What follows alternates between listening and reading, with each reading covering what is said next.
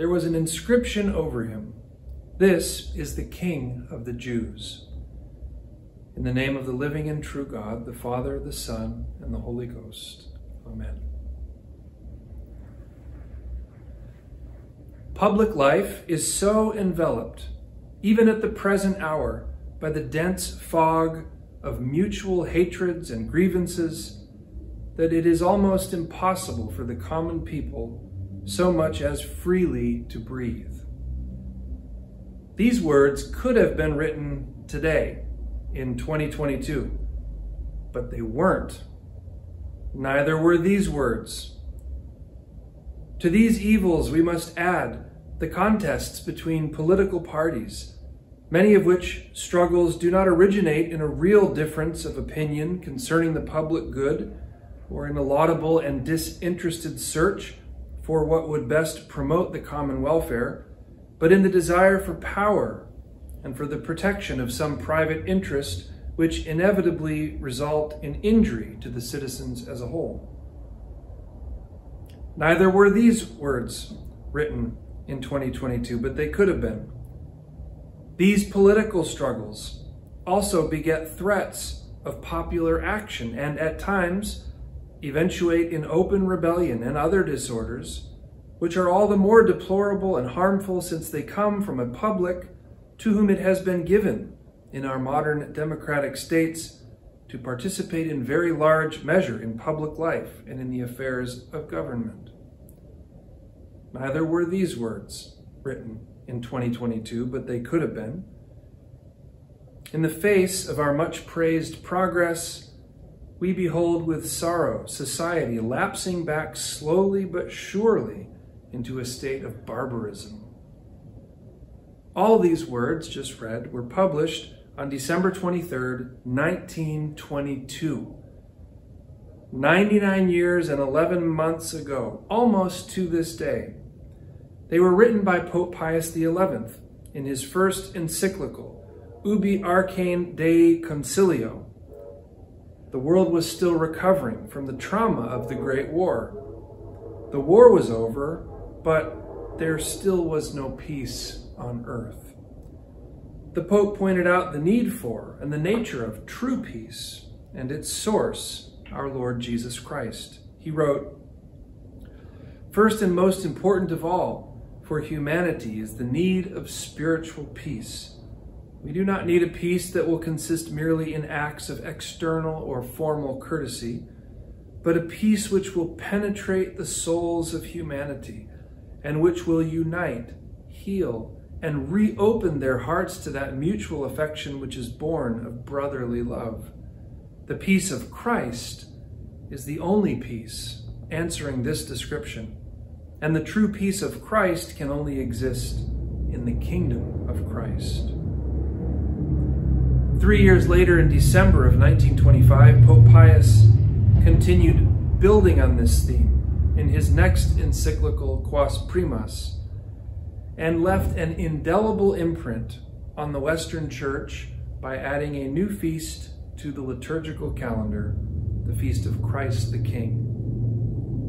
In this second encyclical, he writes, when once men recognize, both in private and in public life, that Christ is King, society will at last receive the great blessings of real liberty, well ordered discipline, peace, and harmony. He went on to suggest that celebrated at the end of the liturgical year, the feast of the kingship of Christ sets the crowning glory upon the mysteries of the life of Christ commemorated throughout the year. Make it your duty and your task, he charged the clergy, to see that sermons are preached to the people in every parish, to teach them the meaning and the importance of this feast, that they may so order their lives as to be worthy of faithful and obedient subjects of the divine King. In Quas Primas, the Pope quotes St. Cyril of Alexandria and reveals the true nature of Christ as King. The foundation of this power and dignity of our Lord is rightly indicated by St. Cyril, who said, Christ has dominion over all creatures, a dominion not seized by violence nor usurped, but his by essence and by nature. The Pope goes on and says, that was St. Cyril. The Pope goes on and says, his kingship is founded upon the ineffable hypostatic union. From this it follows not only that Christ is to be adored by angels and men, but that to him as man, angels and men are subject and must recognize his power. Our Lord Jesus Christ is, and this is what he means by hypostatic union, he is at one and the same time a human being, born of the flesh of the Virgin Mary, and very God of very God. As St. Paul writes in his letter to the Colossians of our Lord, in him, in Christ, all the fullness of God was pleased to dwell. Christ is God, the creator of the heavens and the earth. And so, by essence and nature, he is the King of kings and Lord of lords, having dominion over all. In the Orthodox tradition, there is a cross with three horizontal crossbeams. The first one at the top is smaller. And it symbolizes the sign placed above our Lord's head. Jesus of Nazareth, King of the Jews. It was meant to mock him, but instead reveals to the world the truth of our crucified King.